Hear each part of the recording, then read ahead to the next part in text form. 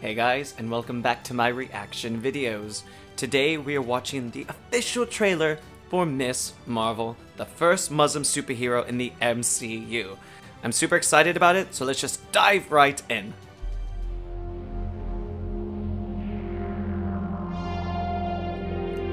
I'm already liking the song. Okay, so first off, I just want to say, I get it. You get what? High school. Kamala, Kamala. another adventure shirt. Cute. She thinks I'm some kind of weirdo. You were a weirdo. Boys. Excuse me. Yeah. You're kind of on my shirt. Sorry. But you're staring out the window in your little fantasy land.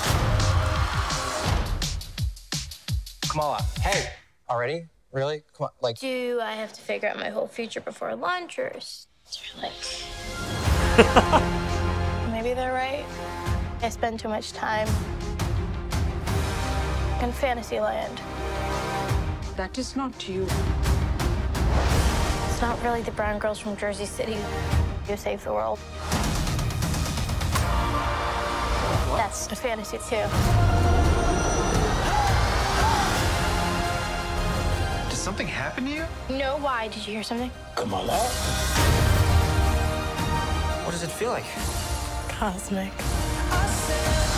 Oh, so she's like, has like, they're I always cosmic thought I powers. wanted this kind of life. But I never imagined any of this. Do you know what you are?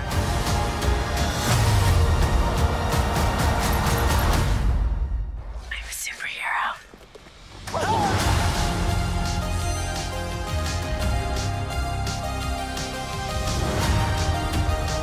Ah, her costume! So many questions.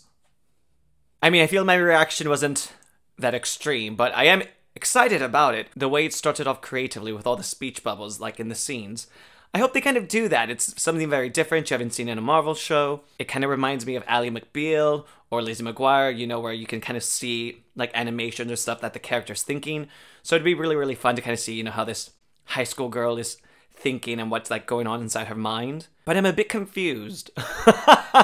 In a good way, I'm intrigued because most people who know her from the comic books are going to realize that those aren't really her powers in the comic books. And I'm not adverse to them, you know, taking creative liberties with it.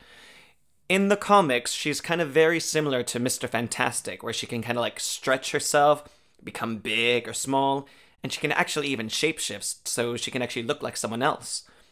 Those aren't the powers she has here.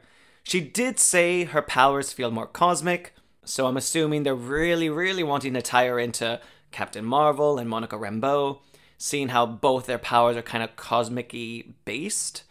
So we know Captain Marvel has a Tesseract. Monica Rambeau got her powers by going through the hex field of Wanda, but you know, Wanda's technically powered by one of the Infinity Stones, so there is kind of some kind of cosmic connection there. So I'm thinking they're really just trying to take that into consideration while looping in Kamala Khan into their kind of story. It kind of looks like she gets her powers from the bracelets. Um, TBD.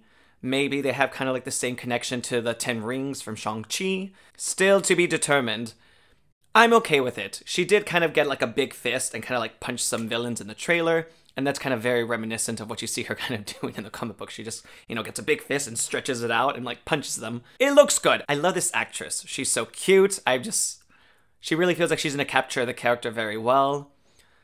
But yeah, those powers. I need to see more before I can make a judgment on it, but more or less, I'm okay with it. I do think one of the main, main reasons why I think that they will be kind of changing her power set is because we are due to get the Fantastic Four sometime at the end of Phase 4. So, seeing how they're going to introduce Mr. Fantastic and his powers are all about stretching, I'm pretty sure they're not wanting to have someone who has quite exactly the same power set. They really wanted to be probably the first time you see it when they introduce the character. Maybe as one of the characters in Doctor Strange in the Multiverse of Madness, he has been a member of the Illuminati, so maybe. Fingers crossed. There was also a part in the trailer where she kind of like falls back and she kind of like enters like another dimension. So I really want to know what that is all about because is it kind of connected to Doctor Strange in the Multiverse of Madness? Is it not? Like what's happening? Ah. So many questions.